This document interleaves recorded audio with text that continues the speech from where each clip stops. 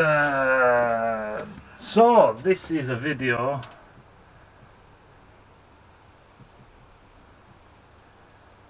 About the Hyperloop. So, a lot of people have been asking. I say a lot of people, I think it's about 10, 12, 15. Usually, what happens is, is um, oh, what's his face? Thunderfoot comes out with a video about the Hyperloop, and then I get a, a one or two comments, and then he'll release a video, and then I get another one or two comments, and this that and the other. It'll be, have you seen the latest Hyperloop? What's your take on it? I said I'll get round to it. This, that, and the other, and uh, this is what. So this has been on the list for quite a while, and I thought, yeah, yeah. So what is the problem with the Hyperloop? Is Thunderfoot talking shit? There's another guy who does anti Thunderfoot videos where he goes around. That guy's fucking voice. He does my nuts in. Oh, the guy who takes the pit, you know the guy who does the negative and he comes out with the actual the internal pressure is oh fuck's sake. Right, so it's gonna be a long video. Um, from an engineering point of view, the Hyperloop. Thunderfoot's already been through all this. It's not a new idea, like most ideas. They are generally not new. A lot, a lot of ideas, apart from the computer age, but a lot of mechanical ideas are all old ideas. It is quite easy to have an idea. It is very hard to implement it, and that is the whole um, theme of this video. It is. It's all good to have an idea. It's implementing that idea. Now, Elon Musk is a knobhead, in my opinion. He's just one of these arrogant little, yeah, uh, just. But yeah. So, Burn Victim has had this idea. He wanted to go in space. So what he's done is, is he's gone around with his lots and lots and lots and lots of money. You know, very well done to him. And he has basically uh, employed the right people.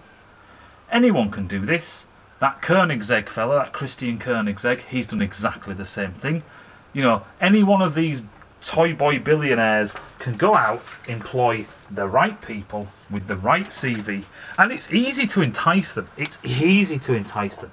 Shit, they've been working at these places that really have given them the experience and the technology. People who work for DuPont, people who work for JPL, NASA, people who work for Rolls Royce, people who work for McLaren, and you are always going to find someone um, with either a bug to bear with that company or it's the it's this whole thing. They come in for an interview and you say I've got the financial backing. Come work for me. You can have your own office. You can have whatever you want. This is an exciting new project to get involved with. And you think I am one of 50 engineers. I am one of 3,000 engineers working for Intel JPL or whatever. I am pretty much no one. This Musk burn victim guy is saying to me I can have my own office. I can be the project. That's not. I'm not a project leader at the moment. And you move, even if it's for the same fucking money. You move. It could be for less, and you'll move. And they do. And with that, he has very successfully made SpaceX. Is it a good idea? Yes, NASA seem to think so. And compared to the fucking disaster of the space shuttle, yes. And they are doing very well. And to see that thing land on that barge is fucking amazing. It gives me the horn it's I love space. And that is just oh, it's fucking awesome. People slayed the shit out when it blew up on the launch pad. Shit happens. You should see uh, NASA's past history. You know of fucking missing, not missing Mars, actually hitting Mars. You know what I mean? Stuff like that. Shit happens. You know we can't get everything right. No one's perfect. Human. Blah blah blah blah blah. This isn't the Matrix. But when it comes to the Hyperloop, there are certain things um, which I'll talk about in this part. We'll probably do this as a two-parter. This one is talking about um, the actual chronological order of what's happened with the Hyperloop. It's not his idea. He's not. He, he did actually kind of make out. I've got a name for it. It's awesome. It yeah. The thing is with this whole Hyperloop thing is you can kind of tell um, what's happened behind the scenes. What's happened behind the scenes is he's gone out, he's made these awesome claims. With SpaceX, it was kind of the other way around because you don't run before you can walk. So he was basically made sure it was viable, said we've got a company, we're going to try and do this. They then successfully did it, and then then they said, look at us, we're fucking awesome. And you go, well done. You know what I mean? It is fucking awesome. Then on the back of that, with that success, with all that buzz, he can't help himself. Let's go on the telly. Let's talk about the next groundbreaking idea. I am, you know, I am James Watt. I am fucking whoever. You know, some dude who's going to change the world. I am Einstein. I am this, that, and the other. And he said, you know, well, well, next it's the Hyperloop. Next it's electric cars. Now the electric car Tesla thing was doing what other car companies weren't willing to do yet, which is spill endless amounts of money into a design until out pops something that's usable. And the thing that popped out that was usable, you've got to remember, there's no, there's no, there's no technology in there. You know, there's patents on little things, but there's no groundbreaking pre-Wankel Wankel engine. Before we had nothing like that, now we do, and it happened in the space of two or three years. There's none of that ingenuity, and we've just made something brand new. You know, it's not a Frank Whittle project. It was basically we just put all the parts that were off the shelf that people just hadn't put together in that sequence before, slapped a bonnet on it, and called it an electric car. Now that they're getting, they're trying to sell them and all the rest, now they're getting incoming money, so then they can actually refine that idea they've got. Nothing against that. Someone has to do it first and they did it first. It was as simple as that. But then saying that if you look back, Honda and all this, no, they've all had to go at this kind of thing. They're just not trying to push it to be commercial.